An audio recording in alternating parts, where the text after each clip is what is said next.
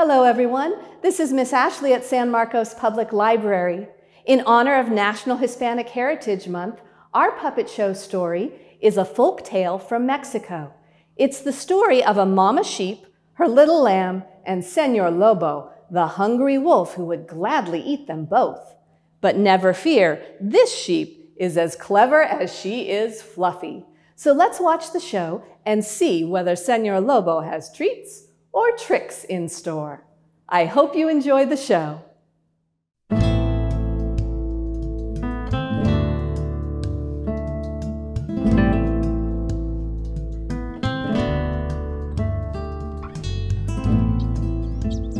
Once upon a time, there was a mama sheep named Bonita.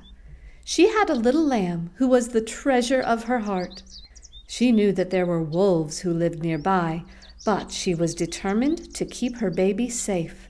And though she was not as strong as a wolf, she was fierce and clever. Mommy, Mommy, look at me! Yes, Mijo, you are growing big and strong. But we must be careful. Sheep must always be on the lookout for wolves. How will I know a wolf when I see one? Wolves are big and hairy and gray, with pointy ears and long pointy noses and big sharp teeth. Mommy, Mommy, I see a wolf. You have good eyes, mijo. Go and hide and be very quiet while I deal with this wolf. What a plump sheep! I'm starving. I haven't eaten all day, and you look delicious. Oh, Senor Lobo, I can see that you are a very hungry wolf with excellent taste. I would be a poor dinner for you. I'm really so scrawny under all this wool. But I know of something so much more delicious than sheep. Ah, if only you could wait till tonight, you could taste it. More delicious than a sheep? What is it? Cheese! Oh, amigo, cheese is the most delicious food in the world. And tonight there will be a big round wheel of it floating in the pond. All the cheese you can eat. If only you could save your appetite, you would be so delighted to taste it. Savory, salty, delicious cheese. That does sound better than a stringy sheep. If I come back tonight, can you show me where to find it? Si, Senor Lobo. So the wolf went away and came back when it was dark. Ow! Ow! Ooh! I'm really hungry now. Where are you, sheep? Where is the cheese? Here I am, and you will see the cheese soon. Any minute now. Just keep your eyes on the water, and when you see it, jump in and grab it with your teeth. You will love it. The moon rose and was reflected in the surface of the water. I see it, I see it. Round and yellow and delicious. It's huge. I'll be full for a week. And the wolf jumped in the pond. What? what? No cheese?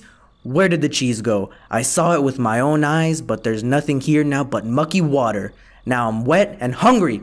Ooh, where did that sneaky sheep go? I'll eat her up next time. Bonita knew the wolf would be back. The next day, she hid her lamb carefully and told him to hide quietly.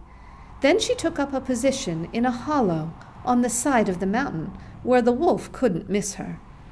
She leaned back with her feet braced against the rock above her. When Senor Lobo came along, he was very puzzled. I'm here to eat you, sheep, but what are you doing? Why are you upside down under those rocks? Come on out so I can eat you. Oh, Senor Lobo, I do wish I could. But this morning the mountain started to collapse, and I got in here just in time to hold it up with my legs. If I come out, the whole mountain will fall down on us and kill us all. What? A falling mountain? Yikes! Don't move. Whatever you do, don't let the mountain fall. Oh, but Senor Lobo, I've been holding up this mountain all morning. My legs are so tired, I think they will give out any minute. We're all doomed. No, don't say that. I'm too handsome to die. Maybe I could get some help from the village. There are many strong men there, but if I let this rock fall, we will all die. Senor Lobo, your legs are so much stronger than mine. Can you hold up this rock for me while I run to the village for help? Yes, okay. Anything to keep this mountain from falling. But hurry up! So Bonita slipped out from under the rock just as Senor Lobo slipped in and braced his own legs against it. I'll be back soon, Senor Lobo. Just keep holding that rock up. I'm sure the village will make you a big feast as a reward for saving us all. Just come back quickly. The rock is heavy. Off Bonita went, back to her little lamb, and not to the village at all. The sheep grazed peacefully all afternoon, while Senor Lobo sweated and strained, holding up the rock. What is taking that sheep so long? Help had better come back soon. My legs can't take much more of this. Oh, oh no, leg cramp. Oh, ooh. Senor Lobo rolled out from under the rock, too exhausted to hold it up any longer. To his great surprise, neither the rock nor the mountain fell. What? I'm alive. I'm alive! But wait a minute. The mountain isn't falling. That sheep tricked me. I've been holding this rock up all day for no reason. Ooh, oh, next time I'll get that sheep for sure. No more tricks, just treats. For me. Woo! Ow! Ow! Bonita knew that Senor Lobo would be ready for her tricks the next time they met, and would accept nothing less than a sheep dinner. So she told her lamb to hide one more time, and when the wolf appeared, she was meek and fearful. There you are, sheep. No escape this time, and no tricks. I'm going to eat you up. Oh, Senor Lobo, I can see that there is no putting you off. You are too determined, and I am out of tricks. If I let you eat me, it will spare some other sheep from being your dinner. I am ready for my fate. But I am so scared of your big sharp teeth. Won't it hurt when you eat me? Well, yeah, I guess so. Please grant me one request. Swallow me in one gulp so it won't hurt so much. You just open your mouth wide and I'll run and jump in. You swallow me as fast as you can and your tummy will at last be full. Okay, I guess that's fair. I'm so hungry now, I think I can swallow you whole. So Senor Lobo opened his mouth as wide as he could, which made his eyes squeeze almost shut. But before Bonita ran at his mouth, she picked up an armload of prickly pear. Here I come, Senor Lobo. Open wide and swallow me in one bite. Ow! Ow! Ooh, ouch!